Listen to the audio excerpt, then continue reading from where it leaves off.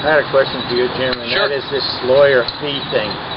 Are you suggesting that we might go to a salaried law support in town?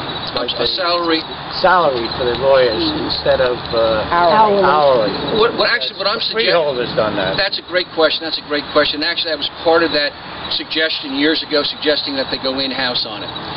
And I'm not necessarily sure that in Middletown, that in-house is the way to go. Um, and but what I am sure of is we have to take a very, very close, hard look at our legal expenses as well as other professional expenses.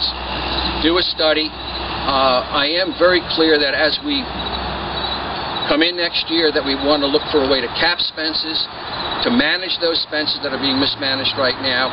And I think it would be appropriate to do a study to see if it would be appropriate to bring counsel in-house. That could take six, seven, eight months to do that appropriately. So I'm not necessarily saying that we won't do that. We will consider all things. There's a lot that we have to look at.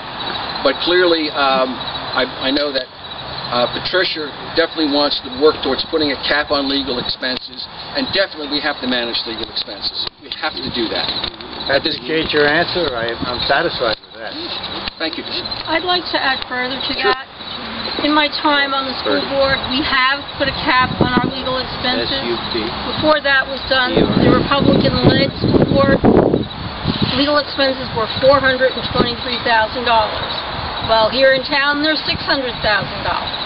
Um, Now the legal expenses of the school board are $160,000. It's a big How difference.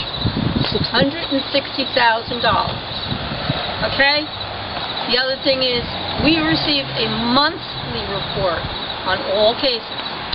On all, we receive all the bills. And on all the bills, there is an identification of what case and what's being done.